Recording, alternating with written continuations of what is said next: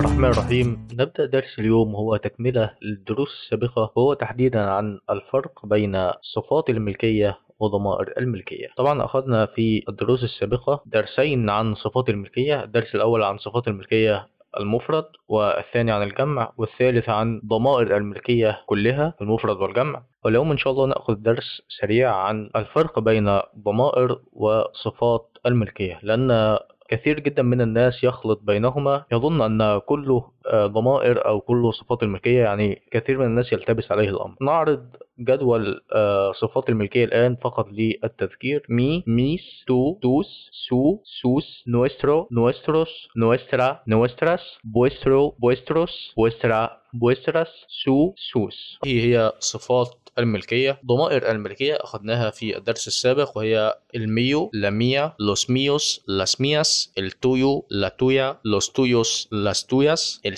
la suya los suyos las suyas el nuestro la nuestra los las nuestras, el vuestro, la vuestra, los vuestros, las vuestras, el suyo, la suya, los suyos, las suyas. هذه هي ضمائر الملكية. وأخذنا أيضا أنها تستعمل مع المعرفات اللي هي ال ولا ولوس ولاس وتستعمل أيضا بدونها وأخذنا ذلك في نهاية الدرس السابق. فقط هذه للتذكير. أما الفرق بين صفات وضمائر الملكية، ضمائر الملكية هي تحل محل الشيء الموصوف وتعمل كصفة أن صفة الملكية هو موصوف في نفس الوقت. يعني مثلا el perro mío es muy juguetón el perro mío es muy juguetón الكلب الخاص بي هو يحب اللعب أو كثير اللعب يعني. هنا mío يمكن أن تأتي في سياق آخر مثلا الإجابة عن سؤال كما أخذنا في الدرس آه، السابق cuál perro أي كلب؟ فتقول el mío. el mío يعني الكلب الخاص بي. فهنا el mío تأتي كبديل للصفة اللي هي صفة الملكية والموصوف الاثنين معا. فهي تحل محله مباشرة. نأخذ مثلا آه، صفات الملكية. Hermana tiene un coche nuevo. Mi hermana tiene un coche nuevo. Mi hermana mi اللي هي صفة. هنا صفة ملكية. وليست ضمير ملكية mi hermana. mi hermana يعني أختي. هنا صفة الملكية تصف آه هذه الأخت تنسبها لي. فهي صارت أخت لي بسبب mi. فهي mi صفة الملكية تنسب الشيء لمالكه أو تربط بين شخصين توضح العلاقة بينهما. فهنا أخذنا ضمير الملكية وصفة الملكية. وأيضا يتضح أن صفة الملكية تأتي مع الموصوف وتأتي قبله. وهي ملازمة له. أما ضمير الملكية يأتي مفردا أو يأتي مع الموصوف اللي هو يعني المملوك ويأتي بعده أو أحيانا يأتي بدونه مطلقا يعني يأتي بدونه لأنه يدل عليه. إذا كان واضح من السياق. أما صفة الملكية لا تأتي وحدها أبدا لأن وحدها لا معنى لها. فهنا هو الفرق الرئيسي بين صفات الملكية والضمائر. السلام عليكم. لا تنسوا الإعجاب بالفيديو والاشتراك في القناة. تشجيعا لنا لنستمر بنشر المزيد إن شاء الله. صفات الملكية لا تأتي بمفردها أما ضمائر الملكية قد تأتي بمفردها وتحل محل صفة الملكية والشيء الذي نتكلم عنه اللي هو المملوك الذي يأتي بعدها. في كثير من الأحيان إذا كان السياق واضح فهي هنا يسمى ضمير ملكية لأنه يحل محل الشيء نفسه كما أوضحنا. وأيضا ضمير الملكية فيه حرية أكثر في مكانه في الجملة يعني مثلا هو يأتي بعد الفعل اللي هو الفعل المساعد ويأتي قبله. مثلا este libro es tuyo هذا الكتاب لك أو ملكك. وأيضا ممكن أن يأتي tuyo es este libro tuyo es este libro يعني يجوز أيضا أن تأتي هنا سواء آه، جاءت في صيغة السؤال أو صيغة الجواب. لكن طبعا الأولى هي الأكثر انتشارا. أما صفات الملكية كما أوضحنا توضع دائما قبل الاسم الموصوف مثل مثلا mi casa es grande mi casa es grande منزلي أو بيتي كبير وهي أيضا تكون ملازمة للاسم الموصوف. يعني لا تأتي إلا معه. أما ضمائر الملكية قد تأتي بدونه أساسا يعني تحل محل الشيء وأيضا معه صفة الملكية مثلا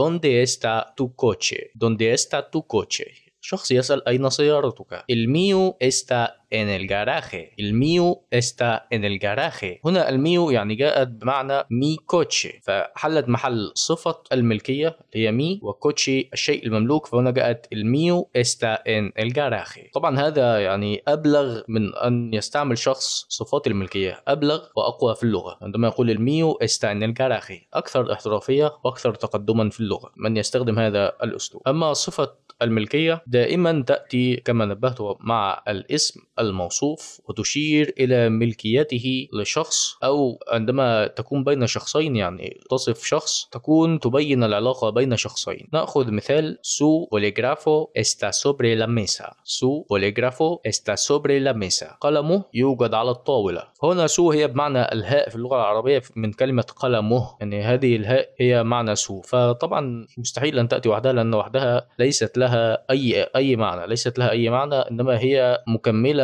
وتصف الشيء بأن تنسبه لصاحبه. هناك مشابهة في الصفات الملكية والضمائر الملكية وهي أنها تطابق المملوك في الجنس والعدد. تطابق تطابق الشيء الموصوف في الجنس والعدد. صفات الملكية مثلا mis amigos son muy divertidos. mis amigos son muy divertidos. أصدقائي ممتعون جدا أو مسليون جدا. فجاءت هنا mis amigos جاءت mis مع amigos mis هي لجمع المذكر و amigos هي جمع مذكر فجاءت مجانسة ومتطابقة معه في الجنس والعدد. Este libro es mío. Este libro es mío. هذا الكتاب لي فجاءت mío مع libro هنا للمفرد المذكر لأن libro مفرد مذكر. مثال آخر. nuestros padres nos visitarán mañana nuestros padres nos visitarán mañana والدي سيزورون غدا. هنا جاءت nuestros padres nuestros padres nuestros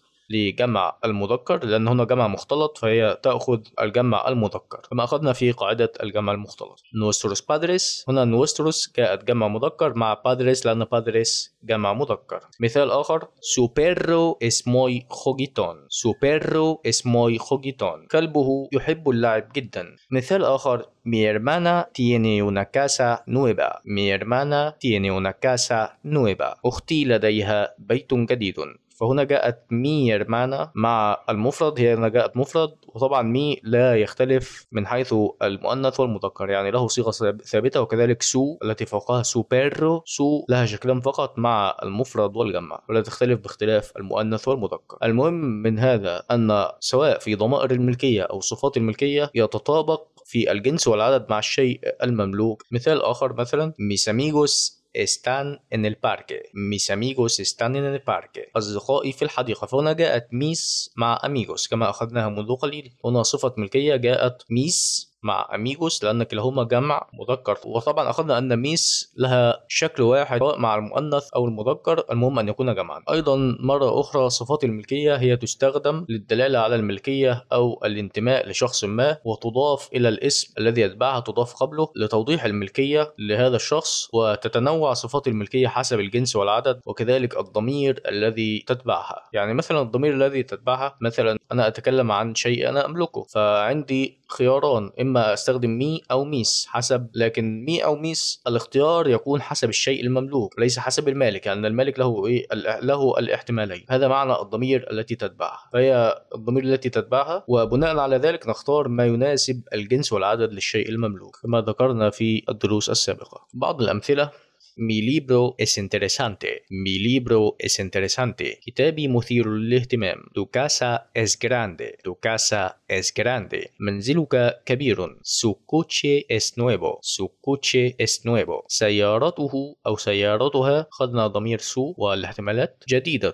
سيارته أو سيارتها جديدة. Nuestros amigos son divertidos. Nuestros amigos son divertidos. أصدقاؤنا ممتعون. Vuestra casa está lejos. Vuestra casa está lejos. منزلكم بعيد. Sus perros son pequeños. Sus perros son pequeños كلابهم أو كلابهن صغيرة مثال على ضمائر الملكية تستخدم ضمائر الملكية للدلالة على الملكية والانتماء كما أخذناها آه المثال el libro es mío. La casa es tuya. El coche es suyo. El libro es mío. الكتاب لي أو ملكي. La casa es tuya. المنزل لك أو ملكك. El coche es suyo. السيارة له أو ملكه أو ملكها. Los amigos son nuestros. Los amigos son nuestros. هؤلاء أصدقاؤنا أو الأصدقاء أصدقاؤنا La casa es vuestra La casa es vuestra يعني المنزل لكم أو ملككم Los perros son suyos. Los perros son suyos. الكلاب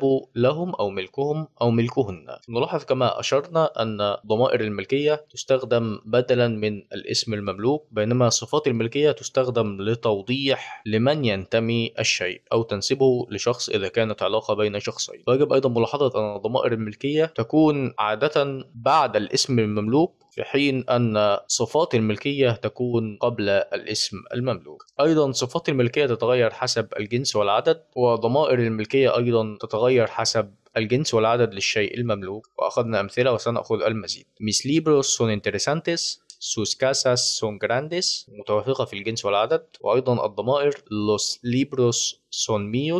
casas son tuyas. واضح جدا وأخذنا ما فيه الكفاية وأرجو أن يكون الدرس واضحا لكم والسلام عليكم ورحمة الله وبركاته